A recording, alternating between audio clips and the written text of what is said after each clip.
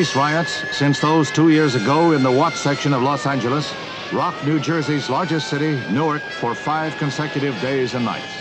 At least 24 persons are killed, more than 1,800 wounded, some 1,400 arrested. This is my film, Niko Newark. It's about me growing up in Newark as a kid in the 60s during the riots. Basically, the people that hung out in the diner, whether they were crooked cops or gangsters or prostitutes, they were my family. And uh, we were all listening to Motown on the jukebox together, and it was all good times until it went bad. This is Joseph Emmel, and I play Cookie in uh, Niko Newark.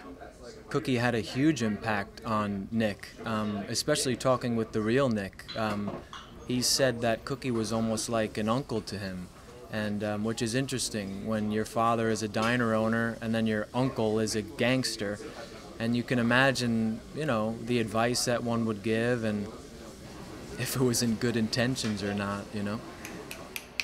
My name is Giovanni Zuino. I'm playing Vito, the Italian Newark police officer. Vito's character as a police officer represents uh, an issue where he may not have understood uh, what was going on, understood people. He had a bad attitude. He um, definitely didn't uh, treat people right. Finding the heart of the story, which we find ourselves uh, following Nick, the son of a Greek immigrant, and Artie, the African American um, kid from the nearby projects. So really discovering and seeing that bond that they create in this time and trying to answer the question of how does something like that survive in a time that we find ourselves in in 1967. Good afternoon and welcome back to My Harlem Portraits, the show that aims at shedding a light on the fundamental contribution of African Americans to the building of this country and on Black excellence. Today, we're going to talk about a new, beautiful movie titled Niko Newark, which had its premiere on November 5th. And we are talking to two very special guests, to Tracey, Tracey Washington Bagley, welcome. Thank you. And Rhyan St. Clair, welcome to both of you. Welcome to my Harlem Portraits. So Tracey is a six-time Emmy Award-winning executive producer, and she's making her directorial debut, debut with Niko Newark. Rhyan is the writer and the producer of Niko Newark. Tracey, I start with the lady.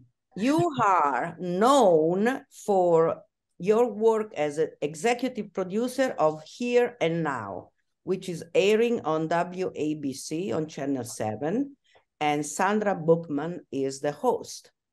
I watch it all the time. Thank you.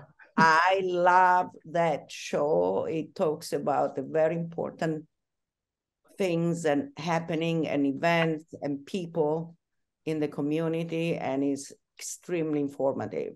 So thank you for doing that. Thank you. You are also the producer of uh, Like It Is and several local and national shows, documentaries, and specials. One recent one, very in, interesting, very incredible, Race and Justice, which was sparked by the George Floyd murder. So that, that is also something I watch, is really amazing. And you do this for ABC, New York, Philadelphia, and Houston. Rhyan, you are the co-founder of Little King Studio, a film production company which is owned by the service disabled veteran.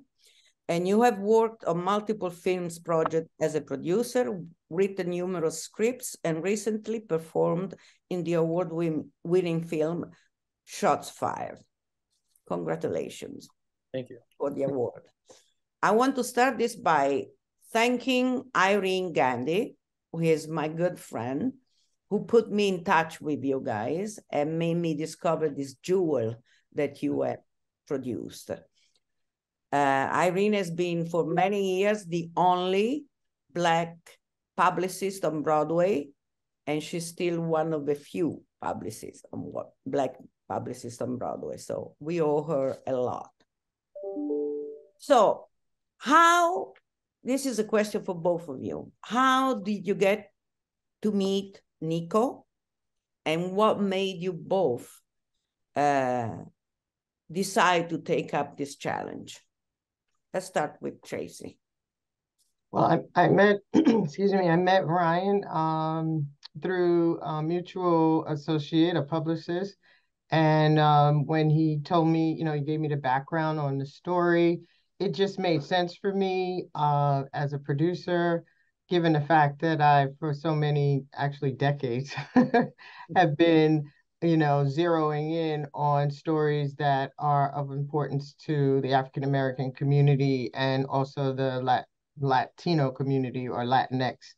And um, it was um, just very appealing to be able to bring that background to the set and then at the at the same time to bring Rhyan's script alive.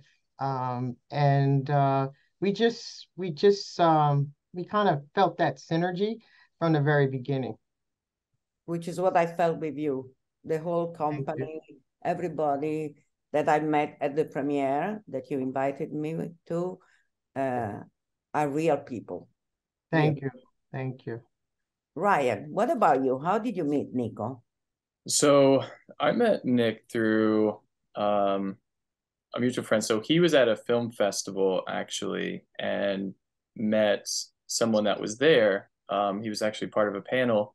And that person, you know, Nick was like, Hey, I have, you know, this, all this in my life, and I'd really like to um, put it in in a show or film or, or whatnot. And the person he was talking to gave Nick my number. And then he reached out and called me and you know, it's we started meeting up and he was telling me different stories and stuff about his life. And you know we started discussing how we can make this work putting it into a show or film or whatnot and it started to evolve that way.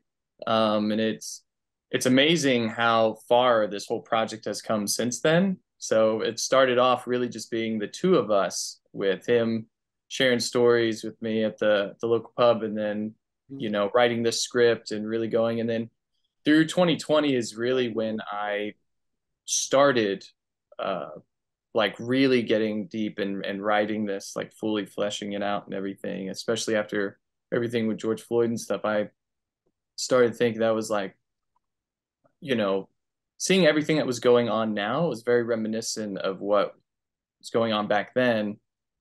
And I'm and I was thought it was interesting to put it through the perspective of the of the children. You know, um, it's not a kids film or kids story or anything, um, but you know, kids are in these adult situations and stuff sometimes, and it's unfortunate, but um, you know, and how far this team has grown since then. And and as Tracey said, the synergy, everything is great. Having Tracey, I knew second I I talked to her, I knew she was the one you know, to bring on to this project. And she did an amazing job. And yeah, it's just everyone that that was brought on. I can't say enough about them. But yeah, that's kind of how it started with me and Nick and then blossomed into something.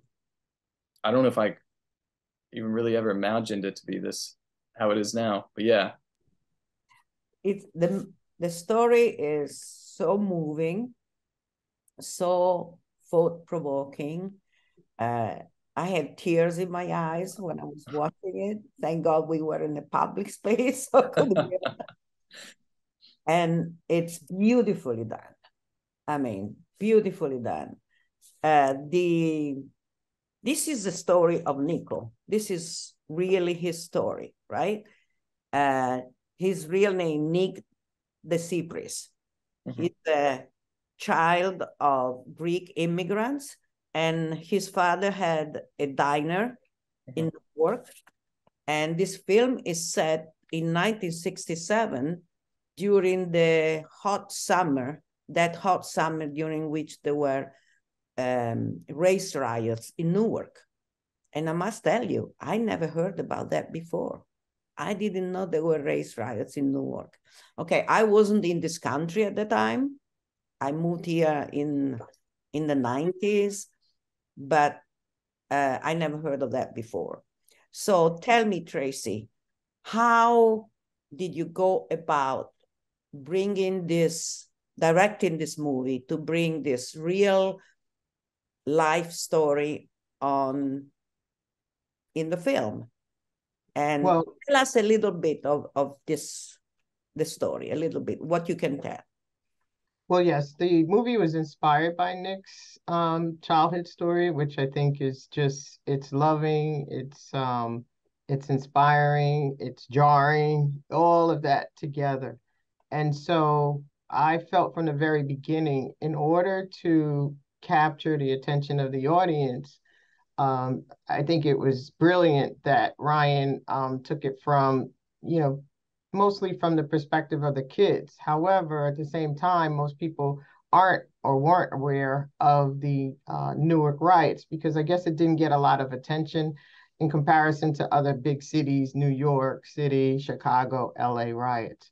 Um, and so I thought that combining real news footage of the riots and to weave that into the children's story would be a real way to engage the audience so that it would be um, uh, jarring and entertaining at the same time. Um, just a lot of emotions. It was layered with emotions, and that was what I set out to do. Uh, and so you see in the beginning of the movie, we start out with authentic news footage. Mm-hmm. And um, I think it worked. I wasn't sure at first. was but I think it worked. Yes. Really captured the attention immediately. Yeah. yeah. And I think in the character of Niko, we we captured Nick Dessipris, his his real personality. He's loving, he's you know, he's um he's outspoken, and I'm sure he was like that as a kid and um, he had his challenges with his dad. So all all of that, I believe, um, you you get to see in the film. Wonderful! It was really beautiful. And Rhyan, you talked to Nick, and Nick said during the premiere that he had tried for years to write a script about what happened in his life because he was never able to talk about it. It was like a secret that mm-hmm. he had kept and he needed to get it out. And then if he couldn't do that, I he met you. And you did that for him. Tell me how it happened. So it just took a lot of conversations between us, really. Um, you know, there were things like you just mentioned that were secret. So you know some things with childhood trauma and things like that it, it, can be difficult for people to to say and there's still things that he's told me you know what i mean that mm-hmm. we keep confidential but it's it, it, took a while to build that trust up in order to to really be able to find the story. And it just takes it just took a lot of listening you know? No talking just sitting there and just listening to him and letting him getting out and then building that trust factor. Um, and that's how we became a, a closer knit team and building trust even beyond to where, you know, he trusts me to be the producer and build the team up from there and hire everyone and lead and all this other stuff. And then, um, so yeah, uh, just a lot of listening it took to him. And he's also the executive producer, one of the executive producers of this movie. So yes. he also really engaged himself in into this. And he was mm-hmm. saying that he, he, put all his savings into yeah. Helping to produce this movie, which is incredible because it's a wonderful, wonderful thing you've done all together. So, uh, which were the best moment and the most difficult moments during this uh, shooting of the movie? Because you have child actors in it, and Theodore Dalton, who plays Niko, and mm-hmm. Walter Russell III, who plays Artie, are amazing. And there were firearms involved. So it must have been a pretty difficult situation to handle. You want to start, Tracey? So I would say the best moment for me um, was when uh, Nick got to see the completed film. And you know, we had it up on the big screen at the venue, uh, the Graycliff, where we were having the gala or gala, however you want to say it. And he was so moved by what he saw, and he just gave me this huge hug. And I, I don't think I'll ever forget that because, you know, when you're creating something you're not sure and it's inspired by somebody's life, you want to get it right and you want it to be interesting, not just to that person, but to, you know, a vast audience. And, but, but particularly that person, you want to make sure you get it right. And he was just so happy. In terms of the production itself and on set, I think when we shot one of the scenes, which I don't want to give away because I want people to see it, um, it was very early, early in the morning. So sometime between one and three in the morning. And it was a very powerful scene. And we needed the kids to, you know, bring forth their A game, so to speak, and to be on point 100%.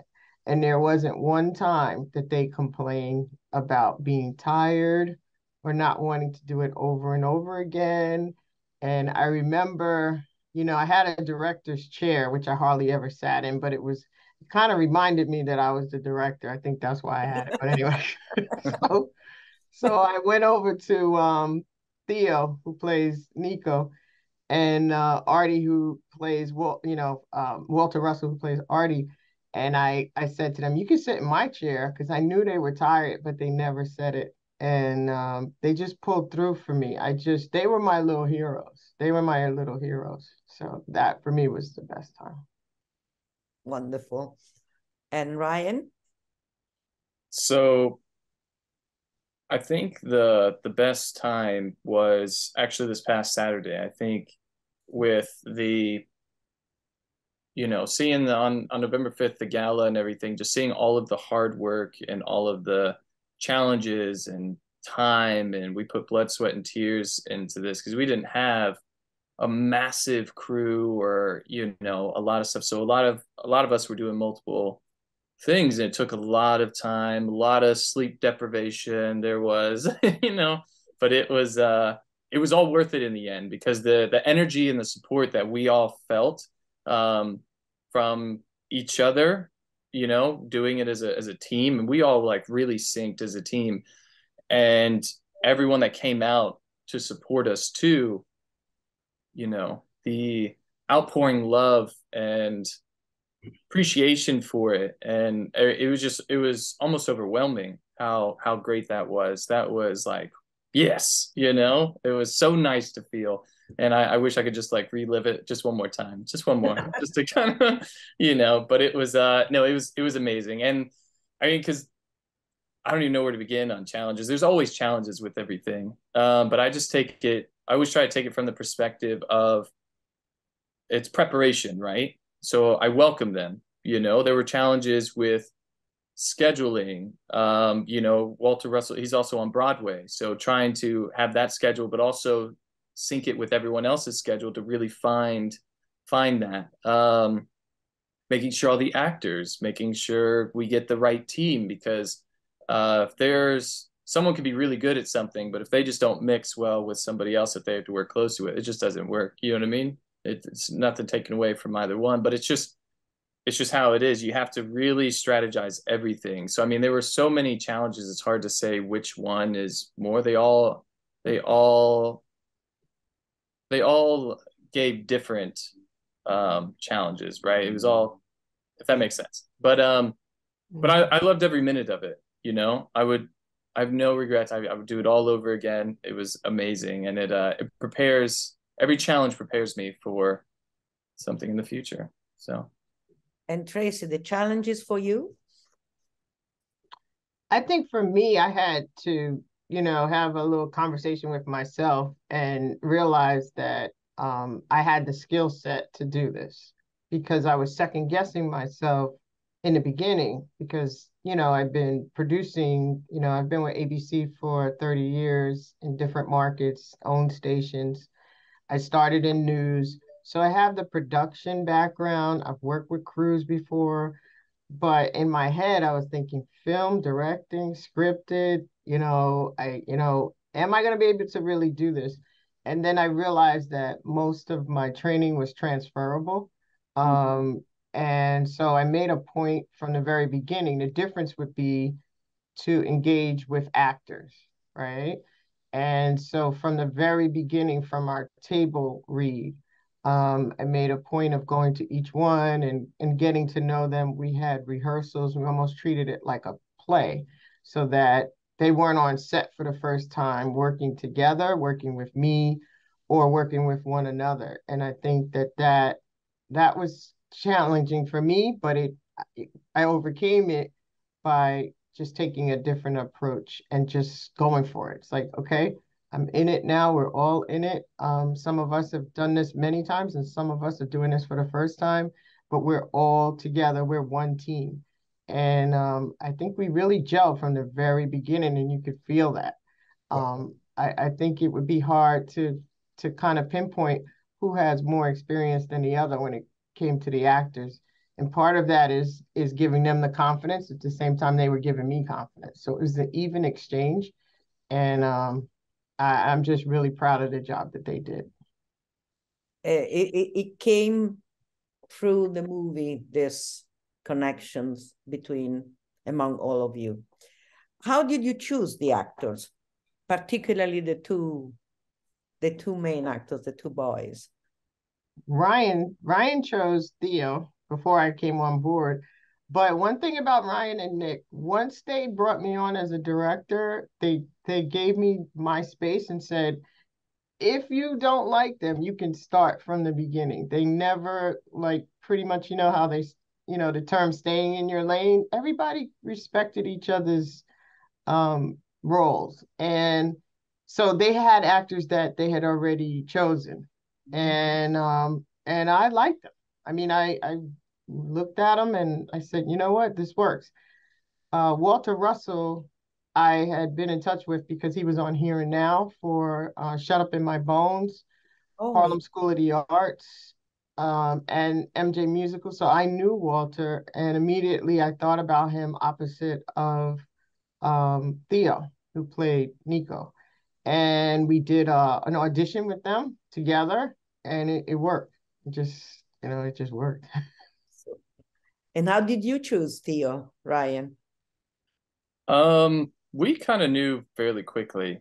Uh, once we saw him, uh, we had him quick. You know, we had others that were candidates, but it was for him. It was it was pretty like he had the he had the look. He had he had it all going. And then once we heard him read the first time, we were like, "Yep, that's good." And then yeah, so that that's how we chose him. And then you know with Walter, it just like extra confirmed once we had, as Tracey mentioned, once we had them read together, it was like, good choice.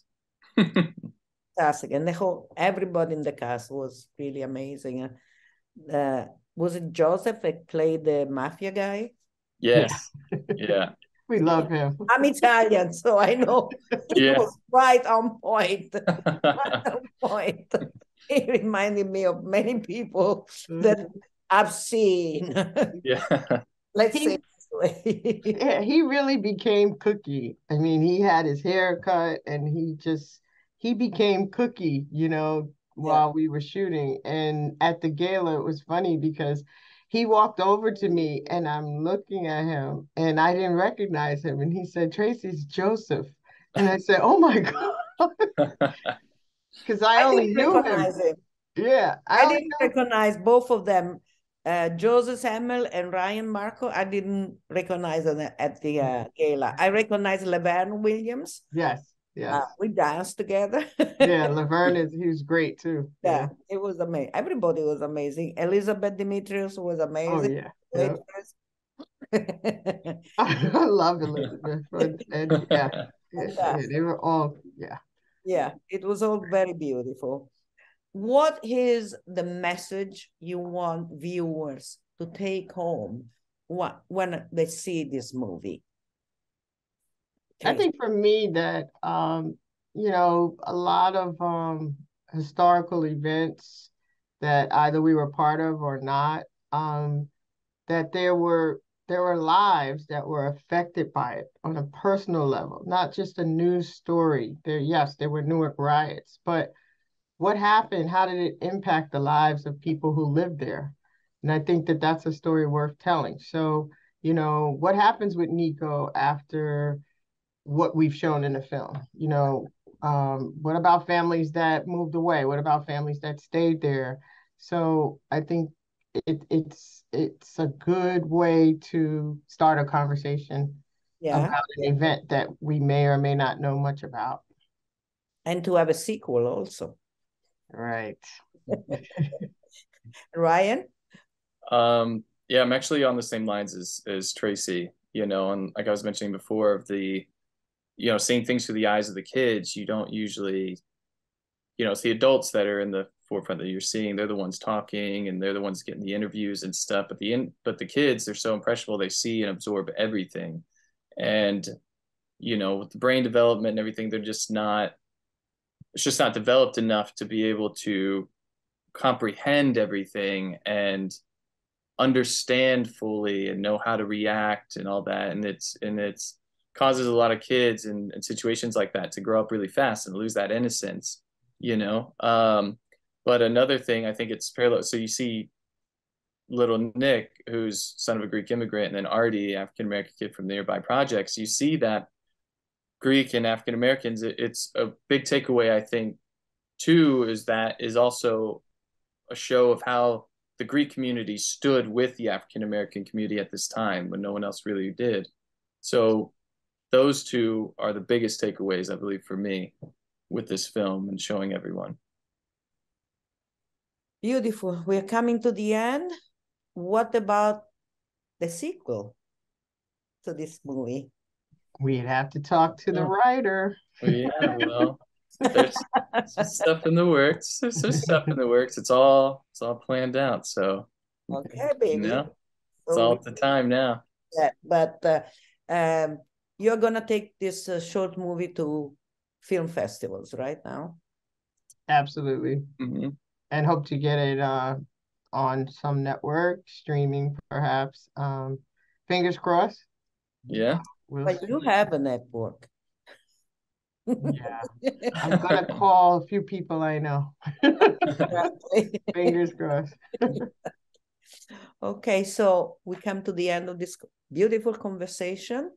Uh, let us know when the movie is showing mm-hmm. so that our viewers can go and see it because it's a movie that needs to be seen. And I thank you for this conversation. And thank you, my viewers, for being with us. We see you next Saturday, same time, 12.30, Spectrum 1993. Bye-bye.